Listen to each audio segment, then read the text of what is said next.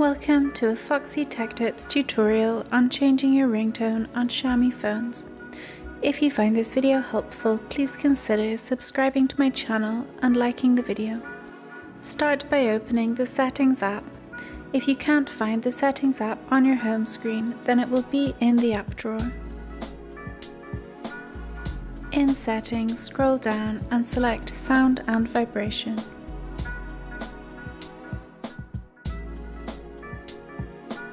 Now tap ringtone.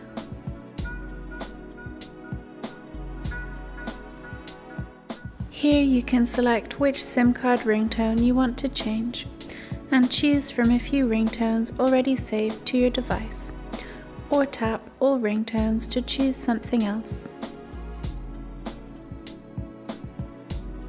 Scroll down to see some more ringtones that you can use. Tap one to hear the preview. If you have a sound saved to your device you want to use, select Local Ringtone. If not, select Choose Online Ringtone. You can now access an online database of ringtones. You can browse through different categories. Once you have selected the one you want, tap it and then select OK to download the tone to your device.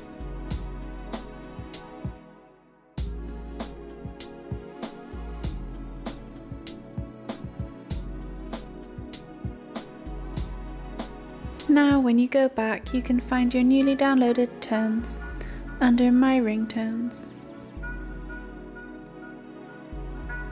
That is how you can change your ringtone on a Xiaomi phone. And that draws an end to this tutorial. Please like the video if you found it helpful and subscribe to Foxy Tech Tips for more Xiaomi and MIUI tips and tricks.